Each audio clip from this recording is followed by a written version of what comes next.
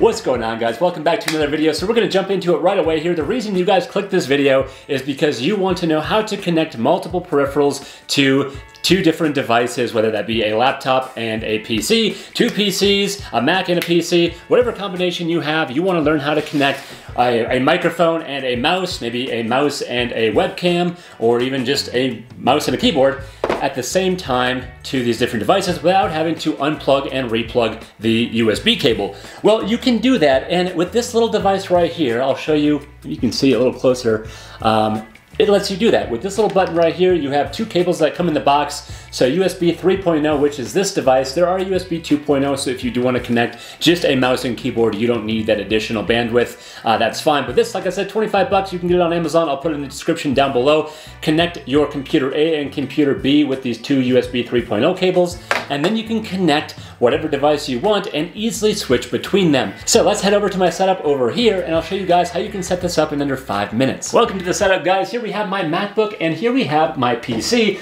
Both of these connected to these monitors and I do happen to have the peripherals I'm gonna go ahead and connect today. So one being this microphone that I use on both devices. So whether I'm doing voiceovers, streaming, gaming, I'm always using this microphone and I always wanted to be easier instead of having to unplug and then plug it back into my PC. And then I think I'm also gonna do the webcam for now. I may end up doing a wired mouse, but for now, I'm gonna go ahead and do the webcam just to show you guys what that looks like when you switch with this. All right, so behind the PC, I did pull it out a little bit so we can see what's going on. We have the USB 3.0 cable. So we can see these are the blue ones, and this is where we wanna go ahead and plug this in. So I'll go ahead and move that, and then I will go ahead and plug this cable in right here and now we can go ahead and get it situated behind our desk. Here we have our little Ugreen switch device, and here we have the cable from PC number one. We're gonna go ahead and pop that into input number one, and that is set up. So as you can see, we have a little blue LED right here, and if I click it, we can jump between the two. So now all we gotta do is go ahead and connect laptop number two or computer number two, which is gonna be this Mac, and we will be good to go. I did go ahead and get it plugged into the back of my Thunderbolt dock.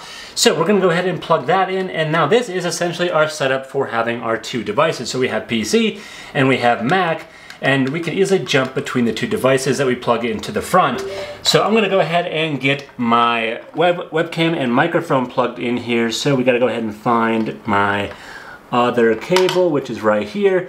This one is my webcam, and then we have my microphone. So right now we are on PC number one, so let me go ahead and shift you guys up and show you exactly what that is going to look like, and then zoom out just a little bit. So on the left side here on this monitor, we have my PC, and then on this is my Mac. So we have uh, the ability to see when we connect and press that button, how quickly this exactly happens. So right now, since we are plugged into the PC, let's go ahead and get into our settings here, just show you guys. So right now we can see on our devices and printers, we have the blue microphone and the Razer Kiyo. And if I were to go ahead and click this button, just take note on the MacBook side, let's go get some focus there. We can see we have MacBook Pro microphone, iPhone microphone, and USB advanced audio device. But as soon as I push this button, watch how quickly those transfer over to this side.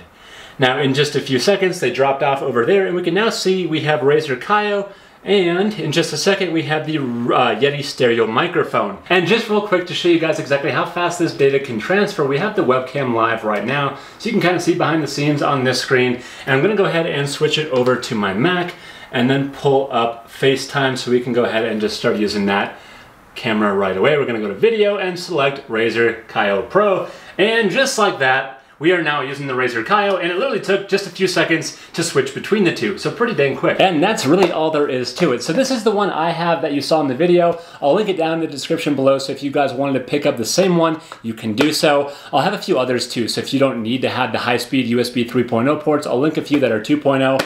Uh, but it really doesn't matter which one you pick up. Uh, they all function relatively similar. These are just pretty compact. This is why I picked this one. And I really only wanted to connect two different devices.